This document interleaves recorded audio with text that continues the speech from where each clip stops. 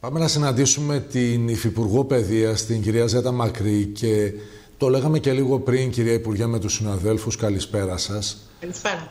Ότι δεν υπάρχει κυβερνητικό τέλεχος, ξεκινώντας από την κορυφή, από τον πρόεδρο της κυβέρνησης και φτάνοντας ακόμη και στα απλά στελέχη της Νέας Δημοκρατίας, όταν καλούνται να τοποθετηθούν για το ενδεχόμενο lockdown, που να μην το αποκλείει και με έναν τρόπο απόλυτο. Βεβαίως πάντα αυτά έχουν αστερίσκους γιατί αν τα πράγματα γίνουν πάρα πολύ χειρότερα από αυτό που ζούμε, θα πει κάποιος πόσο χειρότερα που ξαναγίζουμε τους 100 νεκρούς την ημέρα, πάντα υπάρχει στη ζωή κάτι χειρότερο και όλοι ευχόμαστε να μην το συναντήσουμε ε, στο επόμενο διάστημα.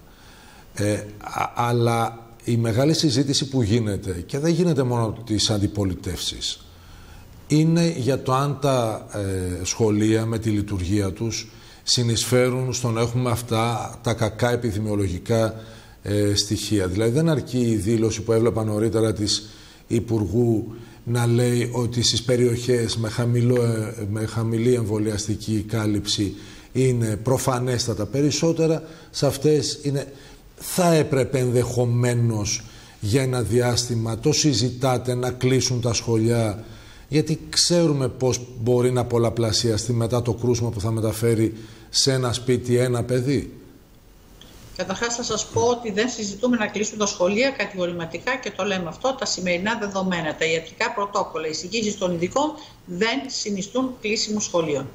Σε ό,τι αφορά τώρα αυτό που υπενηχθήκατε, μάλλον το είπατε ευθέως, την διασπορά λόγω της σχολικής δραστηριότητας. Ο μαθητικός πληθυσμός δεν είναι εκείνος που οδηγεί την πανδημία. Αυτό είναι μια πραγματικότητα επιστημονική και όχι διαπίστωση του Υπουργείου μας. Ο μαθητικός πληθυσμό ακολουθεί. Γι' αυτό και ο Υπουργός είπε, και όπως λέει και πάντοτε στο δημόσιο λόγο και το λέμε όλοι, ότι εμείς δεν την οδηγούμε την πανδημία, εμείς ενώ την εκπαιδευτική κοινότητα και την ακολουθούμε. Και η διευκρίνηση αφορά στις περιοχές που έχουν χαμηλή εμβολιαστική κάλυψη και αντίστοιχα σε εκείνες που έχουν υψηλότερη. Θα σας πω ένα στοιχείο το οποίο είναι πάρα πολύ ενδιαφέρον. 9 στα 10 παιδιά που διαπιστώνεται ότι νοσούν, πολλές φορές και ασυμπτωματικά, ανακαλύπτονται χάρη στα, στις εξετάσεις, στο τέστινγκ που γίνεται στα σχολεία. Και αυτό αποδεικνύει πόσο χρήσιμα είναι τα πρωτόκολλα και πόσο έπαινος μεγάλος αξίζει σε γονείς αλλά και στους εκπαιδευτικούς οι οποίοι φροντίζουν για την τρίση των πρωτοκόλλων. Θα σας πω και ένα άλλο ενδιαφέρον στοιχείο το οποίο προκύπτει από μια επιδημιολογική έρευνα που έκανε ο ΕΟΔΗ. Από τα κρούσματα που παρουσιάζονται στους μαθητές το 30% περίπου, κύριε Πολύζο, οφείλεται στη μαθητική, στην εκπαιδευτική δραστηριότητα.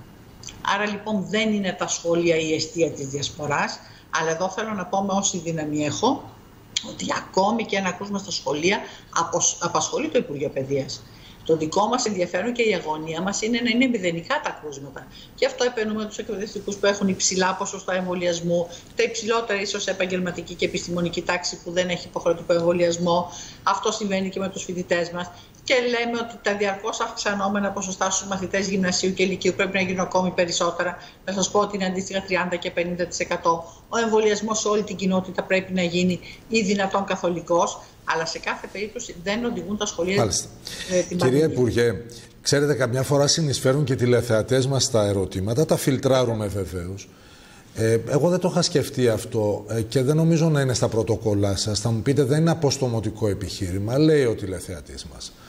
Όταν βρέθηκε θετικός ο κύριος Καραμαλής, ο Υπουργός Υποδομών, και έκλεισε για κάποιες ώρες η Βουλή και απολυμάνθηκαν οι χώροι. Όταν βρεθούν δύο και τρία παιδιά, απολυμμένονται οι χώροι των σχολείων. Για κάποιε κάποιες ώρες κλείνουν αυτά τα τμήματα. Δεν λέω όταν φτάσουμε στο 50 συν 1. Λέω όταν εντοπιστούν ένα, δύο παιδιά. Έχει ναι, γίνει μεγάλη συζήτηση για το 50% συν 1, έτσι. Επαναλαμβάνω ότι θα ξεκινήσω από το εύκολο και το, τη γρήγορη απάντηση. Το 50 συν 1 δεν τέθηκε αυθαίρετα από το Υπουργείο μας.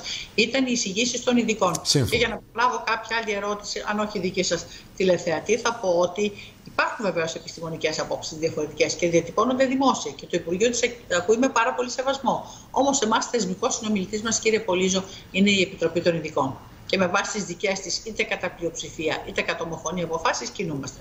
Σε ό,τι αφορά αυτό, επειδή μου το έχει θέσει κι άλλο συναδελφό σας στην Αθήνα, τα τμήματα στα οποία παρουσιάζεται κρούσμα απολυμμένονται. Υπάρχουν όμως και άλλα πράγματα τα οποία δεν γίνανε στη Βουλή. Δηλαδή γίνεται τεστ στα παιδιά έως και κάθε μέρα. Είτε rapid είτε self-test. Και αυτό είναι και η απάντησή μου σε όσους γονείς θα πούν δικαιολογημένα κατά την άποψή τους ότι φοβάμαι να το στείλω το παιδί μου στο τμήμα στο οποίο παρουσιάστηκε κρούσμα. Το παιδί που θα μείνει στο σπίτι δεν θα εξεταστεί εάν έχει και εκείνο συμπτώματα ή όχι, εάν έχει κολλήσει. Το παιδί που θα πάει στο σχολείο θα εξετάζεται σε κάποιες περιπτώσεις καθημερινά επί 7 μέρες. Άρα λοιπόν είναι αυστηρά τα πρωτόκολλα, είναι όμως τα πρωτόκολλα που θα βοηθήσουν στη διάγνωση, άρα στην προστασία της υγείας και του παιδιού και των ε, συνήκων του. Μάλιστα.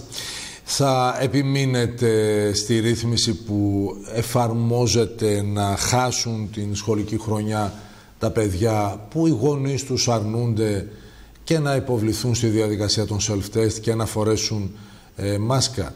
Στην δική μας γενιά ε, αυτοί που έμεναν στην ίδια τάξη ήταν αυτοί που δεν ήταν επιμελείς, δεν ήταν πολύ μελετήροι ε, μαθητές, γιατί δεν πιστεύω ότι υπάρχει παιδί ε, χαζό, ας πούμε, να το πω έτσι λαϊκά. Ήταν τε, τεμπέληδες, λίγο τεμπέληδες, έτσι. Ε, τώρα, ε, τι θα πει κάποιος, ότι ξέρετε, στα 2021 εγώ είχα χάσει μια τάξη γιατί οι γονείς μου δεν μου κάναν self-test και δεν μου βάζαν μάσκα; Καταρχάς, να πω ότι όλα τα παιδιά έχουν το δικαίωμα να δεχτούν την εκπαιδευτική ε, τη μόρφωσή τους με βάση και κάποιες ιδιαιτερότητες και αυξημένες ή διαφορετικές ανάγκες που μπορεί να έχουν. Άρα λοιπόν αυτό το θέμα του χαζού παιδιού δεν υφίσταται. Συγκεκριμένης, εξατομικευμένης εκπαίδευσης όταν έχουν κάποιες διαφορετικές ε, κάποιες δυσκολίες, ναι, αλλά αυτό είναι κάτι τελείως διαφορετικό. Δεν έχουμε κάνει καμία ειδική ρύθμιση για τα παιδιά των αρνητών γονέων. Ισχύει ο γενικός κανόνας. Κύριε Πολύζη, τα παιδιά τα οποία χάνουν την τάξη δεν είναι μόνο τα παιδιά που δεν είναι επιμελή, είναι και τα παιδιά που δεν παρακολούθησαν τον απαιτούμενο αριθμό ωρών διδασκαλίας, ώστε να είναι προετοιμασμένα να πάνε στην επόμενη τάξη. Αυτό το λένε οι παιδαγωγοί. Σε ό,τι αφορά τους αρνητές γονείς, θα πω το εξής, ότι είναι υποχρέωση των διευθυντών και το κάνουν να πηγαίνουν εγγράφος καμιά φορά, όχι μάλιστα εγγράφος πάντοτε, έστω και προφορικά να ειδοποιούν τους γονείς και να τους ενημερώνουν για τις υποχρεώσεις. Η υποχρέωσή τους επίσης είναι, αν αυτό δεν αλλάξει, να ενημερώνουν τις κοινωνικές υπηρεσίες και την εισαγγελία. Ή μόνο την εισαγγελία και η εισαγγελία θα πάει στις κοινωνικές υπηρεσίες. Και ενδεχομένως αυτή η συμπεριφορά, αν θέλετε τη γνώμη μου σίγουρα, δικαιολογεί και την αφαίρεση της γονικής μέρημνας. Το κενό που υπάρχει είναι σε ό,τι αφορά την ποινική δίωξή τους. Ήταν πτέσμα, η συγκυβέρνηση ΣΥΡΙΖΑ ανεξαρτήτων Ελλήνων μαζί με όλα τα υπόλοιπα, ο Σκούπα το παρέσυρε και αυτό. Τώρα όμως το Υπουργείο μας, η κυρία Κεραμέο και ο κύριος Τσιάρας έχουν συνεργαστεί και θα γίνει μια ρύθμιση ώστε ad hoc, δηλαδή στη συγκεκριμένη περίπτωση, να αντιμετωπιστεί νομικά ως πλημέλημα και αυτή η περίπτωση. Μάλιστα. Τώρα, για να φύγουμε λίγο από την ειδική εικόνα της εκπαίδευσης και να πάμε στην ε, μεγάλη εικόνα. Ε, εξακολουθείτε να πιστεύετε στην κυβέρνηση ότι έχετε κάνει ό,τι καλύτερο μπορούσατε στη διαχείριση της πανδημίας; Το αποσυνδέω με την κριτική που σας γίνεται από τις αντιπολιτεύσεις. Κάποιος θα πει οι υποψήφοι του κινήματος αλλαγής αντιπαρατίθενται με την κυβέρνηση για να κερδίσουν προσοχή στη διαδικασία που έχουν. Η αξιωματική αντιπολίτευση μπορεί να υπερβάλλει. Εγώ λέω στις αναφορές που έχετε στην κοινωνία, αν νιώθετε ότι τα έχετε κάνει οι αναφορέ λοιπόν, που έχουμε στην κοινωνία είναι ότι πράγματι εξαντλήσαμε κάθε περιθώριο πυθού και θα συνεχίσουμε με τον τρόπο αυτό να πολιτευόμαστε. Ο Πρωθυπουργός ο ίδιος ανακοίνωσε αυστηρότερα μέτρα σε ό,τι αφορά τους ανεμβολίαστου. Ανακοίνωσε επίσης ξεκάθαρα ότι δεν μπορεί να γίνει γενικό lockdown, γιατί δεν μπορεί εκείνοι οι οποίοι εμβολιάστηκαν και η οικονομία να επιβραδυθεί λόγω της συμπεριφοράς κάποιων. Θα σας παραπέμψω και στις δημοσκοπήσεις που νομίζω έχουν την αξία τους στο θέμα αυτό ότι υπάρχει ένα μεγάλο ποσοστό, ο ένας στους δύο ανεμβολίες τους, λέει πως οτιδήποτε, οποιαδήποτε μέτρα και αν ληφθούν από την πλευρά της κυβέρνησης, εκείνοι εξακολουθούν να πιστεύουν ότι ο εμβολιασμός δεν είναι χρήσιμος, δεν είναι απαραίτητος, είναι επικίνδυνος. Η πυθό ε, είχε αποτελέσματα. Οι εμβολιασμοί αυξήθηκαν πάρα πολύ και με την πρώτη σειρά των μέτρων, αλλά κυρίως και με τη δεύτερη που ανακοίνωσε ο Πρωθυπουργός. Αυξήθηκαν πάρα πολύ τα ραντεβού για την πρώτη δόση, επίσης και τα ραντεβού για την τρίτη δόση. Η κυβέρνηση πιστεύει και πιστεύει βασίμως με βάση τα στοιχεία που έχει ότι αυτός είναι ο ορθότερος τρόπος και ότι το είδαμε και στους υγειονομικούς. Η υποχρεωτικότητα ένα σκληρό πυρήνα ανθρώπων οι οποίοι δεν θέλουν για τους δικούς τους λόγους που δεν είναι τις παρούσεις τώρα να αποδομήσουμε γιατί αποδόμηση χρειάζεται σε αυτά τα επιχειρήματα δεν θα προσέθουν να εμβολιστούν ούτως ή άλλως ό,τι και να γίνει. Μάλιστα. Έχετε επενδύσει καθόλου στους ανθρώπους που φοβούνται, λέγαμε πριν, επειδή είχαμε σήμερα και αυτή την έκτακτη επιτροπή, θα τα πούμε βέβαια και με τον κύριο Γουργουλιάνη αμέσως μετά, που είναι πιο ειδικός. Ειδικότερο για τα θέματα αυτά. Βεβαίως. Είχαμε την έκτακτη σύγκληση της Επιτροπής των Εμπειρογνωμόνων για να δούμε πώς θα συμπεριφερθούμε, αν θα κλείσουμε κι εμείς τα σύνορά μας με αυτές τις χώρες στην Αφρική και πάει λέγοντας. Αλλά σου λέει ο άλλος, δεν καλύπτει ε, το εμβόλιο που βγήκε για την COVID-19 καμιά από αυτές τις παραλλαγές της νέας μετάλλαξης. Άρα αφού δεν το έκανα που δεν το έκανα, αν αυτή καταστεί... Θέλω να πω ότι όλο αυτό, ξέρετε, είναι κάτι που τροφοδοτείται με νέες εξελίξεις. Κύριε Πολύζο, δεν είναι Για, γιατί έχουν πει όλοι οι κυβερνητικοί που εμπλέκονται στη διαδικασία ότι εμείς θέλουμε να πείσουμε αυτούς που φοβούνται. Αφήστε το σκληρό πυρήνα που περιγράψατε κι εσείς. Σωστά, σωστά. Θα σας πω κάτι και εμείς ως Υπουργείο εμπλεκόμαστε στη διαδικασία. Αυτό δεν μας καθιστά ειδικούς γιατρού. Ο κύριος Γουλιάνη θα τα πει και πιο επιστημονικά και πιο σοβαρά. Θα σας πω όμως ότι οι αναρτήσεις ειδικών στο θέμα αυτό και θα αναφέρω τον κύριο Μόσχελο δεν είναι κατηγορηματικές στο ότι δεν καλύπτεται η μετάλλαξη αυτή. Το ίδιο λένε και για τη μετάλλαξη ΔΕΛΤΑ η οποία καλύπτεται. Και θα πω και κάτι άλλο το οποίο δεν χρειάζεται να είναι κανείς γιατρός. Έχει γίνει κτήμα όλων ημών που εμβολιαστήκαμε. Εγώ έχω κάνει και τις γρήγορες στο εμβόλιο και την τρίτη δόση. Τις άλλες δόσεις τις έκανε με το Άστρα Ζένεκα. Τα λέω όλα αυτά γιατί άκουγα τους γιατρούς. Δεν άκουγα εκείνους που λέγανε την επικινδυνότητα ενός εμβολίου, το οποίο η ιατρική και επιστημονική κοινότητα. Που δυστυχώς υπάρχουν γιατροί όμως που τροφοδοτούν τα επιχειρήματα του σκληρού πυρήνα που περιγράψατε. Ε, υπάρχει, μια ελάχιστη. Μετρημένη στα δάκτυλα του ενός χεριού. Θέλω λοιπόν να πω ότι αν δεν εμβολιαζόμαστε, τότε επιτρέπουμε να υπάρχουν μεταλλάξεις. Και αυτό ισχύει και για τις περιοχές οι οποίες ενοχοποιούνται για τις μεταλλάξεις που υπάρχουν. Θα αφήσουμε τον κύριο Γουργουλιάνη να τα πει αυτά ε, καλύτερα και πιο επιστημονικά. Ε, εγώ ακούω κάποια άλλη φωνή ή ακούγεται και σε εσάς; Όχι. Ε, εγώ δεν ακούω. Ακούω και τους συνεργάτες σας. Γι' αυτό σταμάτησα. Λέω λοιπόν, ο κύριος Γουλιάνη θα τα εξηγήσει, αλλά όλοι πρέπει να αντιληφθούμε ότι είναι ευθύνη μας. Μου λένε, δεν σας έχει κυριεύσει κάτι κακό. Πράγματι ακούγατε γιατί μου λένε ότι, ότι από το κοντρόλ είχαν αφήσει ανοιχτό ένα μικρόφωνο. Ξέρω και τη φωνή που άκουσα. Δεν με κυρίωσε κανένα κακό. Δεν είναι παρενέργεια στο εμβόλιο. το έχω κάνει και πριν 20 μέρες άλλωστε. Ναι. Λοιπόν, θα τα εξηγήσει επιστημονικά όσο δεν εμβολιαζόμαστε, όσο δεν ακούμε τους ειδικούς, τόσο αφήνουμε περιθώριο και σε μεταλλάξεις. Γι' αυτό λέω δεν είναι μόνο δική μας ευθύνη, είναι ευθύνη απέναντι και στους συγγενείς μας, στο φιλικό μας περιβάλλον, στο κοινωνικό μας σύνολο. Θα τα πει όμως τόσο καλά ο Πρίτανης και είναι τόση η επάρκεια του, η γνώση του, αλλά και η εξυπνάδα του να τα λέει με τρόπο έφεπτο και αντιληπτό, εγώ δεν τολμώ να πω κάτι περισσότερο. Απ' την άλλη, κυρία Υπουργέ, καταλαβαίνουμε ότι το θέμα δεν είναι απλώς να μείνει ανοιχτή η κοινωνία για να μην χάσουμε την κοινωνικοποίηση, όπως τη χάσαμε σε προηγούμενα lockdown, αλλά και θέμα ταμιακό.